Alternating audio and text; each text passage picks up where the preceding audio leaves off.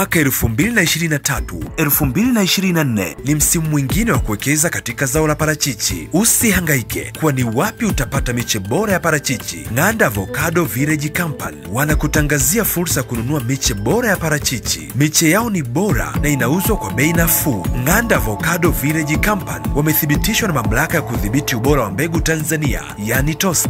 Wanapatikana kijiji cha Ng'anda kilichopo wilayani Wanging'ombe mkoani Njombe, au wapigie simu namba 0753769784. Sisi tunakupa kinachostahili.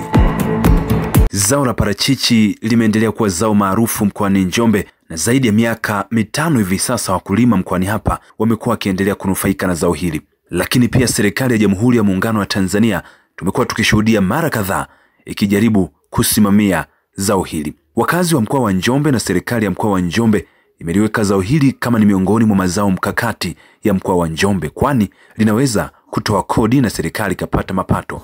Lakini pia zao hili limethibitisha pasina shaka kwamba ni mkombozi kwa wakulima wa zao la parachichi na mazao mengine katika mkoa huu. Kwa kutambua hilo, serikali imeamua kuja na mwongozo maalum wa zao la parachichi, na mwongozo huu ni utaratibu wa ununuzi na uuzaji wa parachichi ndani na nje ya nchi. Serikali imeendelea kufungua masoko mapya ya parachichi katika nchi mbalimbali ili kuchochea mkakati wa tasnia ya parachichi, kuongeza mauzo ya bidhaa nje ya nchi na kipato cha mkulima. Masoko ya parachichi yaliyopo ni pamoja na India, Afrika Kusini, China, Uholanzi, Uingereza, Umoja wa Falme za Kiarabu, Kenya, Ufaransa, Ujerumani na Uhispania. Ili kulinda soko la parachichi ndani, kikanda na kimataifa, Wizara ya Kilimo imeandaa mwongozo wa uendelezaji wa tasnia ya parachichi unaopatikana katika tovuti ya wizara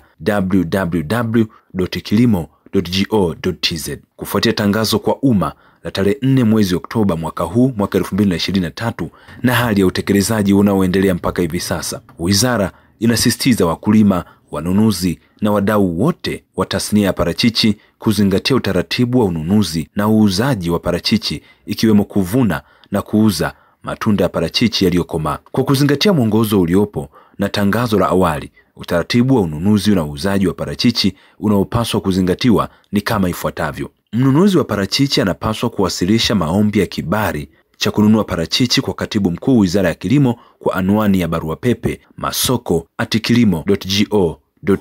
Maombi hayo yaainishe eneo la uzalishaji mnunuzi atakaponunulia parachichi na kuambatanisha nyaraka zote muhimu zikiwemo usajili wa kampuni au cheti cha kuandikishwa, yani extract form registrar, utambulisho wa namba ya mlipa kodi, TIN certificate, certificate of tax clearance na leseni ya biashara export license. Baada ya kupokea maombi hayo, wizara kupitia mamlaka ya afya ya mimea na viuatilifu TPHPA kwa kushirikiana na mamlaka za serikali za mitaa itakagua na kujiridhisha kiwango cha ukomavu wa matunda ya parachichi katika eneo la uzalishaji lililoainishwa na mnunuzi katika maombi. Kipengele cha tatu kinaeleza kwamba Wizara ya Kilimo itatoa vibali kwa wanunuzi wa parachichi na kuwatambulisha wanunuzi hao ngazi ya mamlaka za serikali za mitaa kwa ajili ya kununua parachichi katika maeneo yaliyoainishwa na TPHPA. Wizara kupitia mamlaka ya afya ya mimea na viuatilifu Tanzania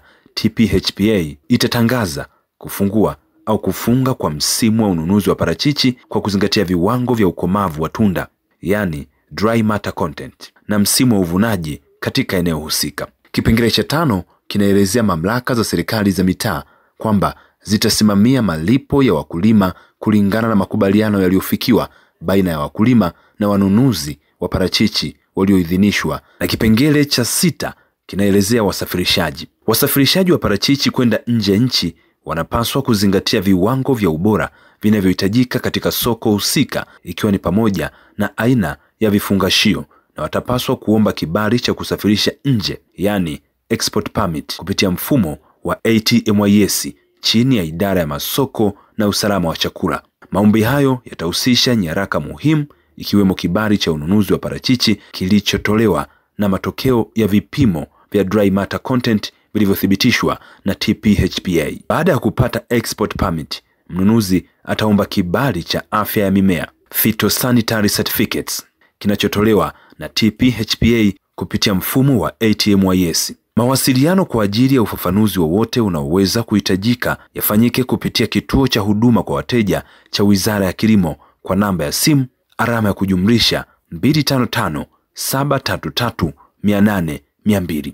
Taarifa hii imetolewa na kitengo cha mawasiliano serikalini Wizara ya Kilimo Novemba 6 mwaka 2023.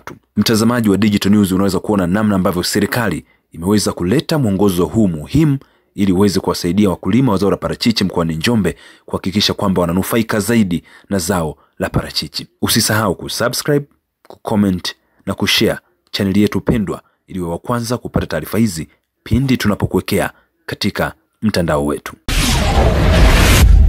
You are watching Digital News Tanzania.